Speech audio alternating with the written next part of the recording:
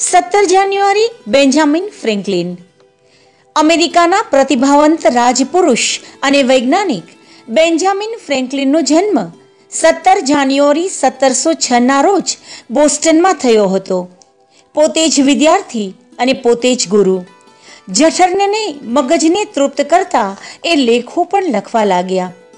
ત્યાર પછી તો એમની બહુમુખી પ્રતિભા માનવ જીવનને અને અમેરિકન સ્વાતંત્ર્યને સ્પર્શતી અનેકવિધ સેવાકીય પ્રવૃત્તિઓથી પૂર બહારમાં ખીલી ઉઠી. બેન્જામિન પોસ્ટમાસ્ટર જનરલ તરીકે તરીકે નિયુક્ત થતા તેમણે ટપાલના આવાગમનમાં સુધારા કર્યા.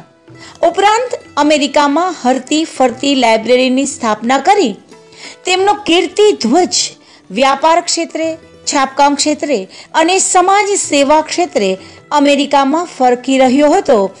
ત્યારે એમની ટોચની શોધ તો એક વરસાદી તોફાનમાં પતંગ ચઢાવીને તેના દોર સાથે બાંધેલી ચાવી દ્વારા વીજળીને નાથી એ હતી. ફ્રેન્કલિન ફ્રેન્કલિનને અનેક જાતના વૈજ્ઞાનિક સન્માનો મળ્યા.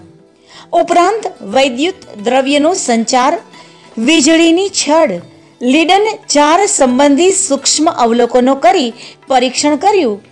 ત્યારે જગત સાચી જ અચરજ પામી ગયું.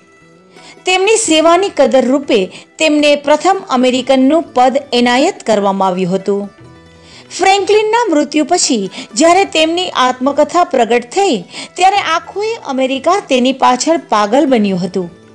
ઈસવીસન સત્તરસો નેવુંમાં તેમનો દેહ વિલય થયો. એક્યાશીમાં વર્ષે ફ્રેન્કલિને સ્વતંત્ર અમેરિકાનું બંધારણ ઘડવાનું કામ કર્યું. જે બંધારણની રચના આજે પણ વિશ્વભરમાં વખણાય છે.